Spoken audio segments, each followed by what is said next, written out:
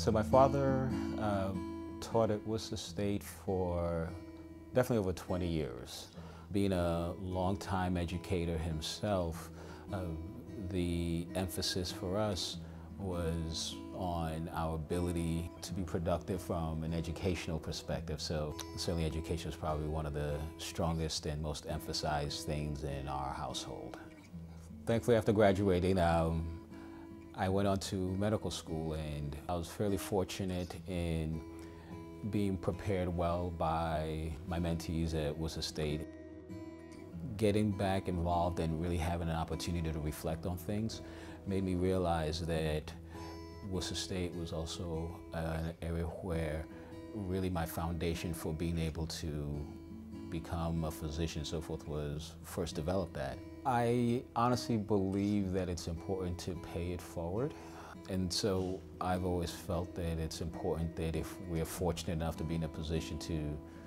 give back, um, we certainly can't take it all with us and there's only but so many material things you can buy. So from my end, it's honestly the opportunity to see other people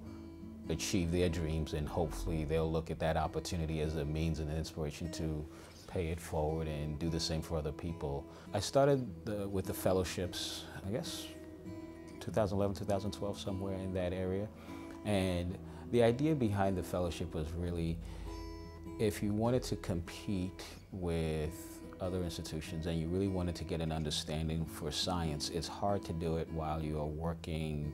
full-time jobs or uh, with all of your other classes. So the summer is a good time to do it, but you know, most college kids, myself included, you know, summer was a good time to make a little extra money and we thought the fellowship uh, would be a good way where they wouldn't have to worry about the summer job and they could actually focus on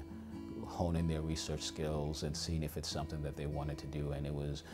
what I viewed as a direct impact to the, to the students. I felt that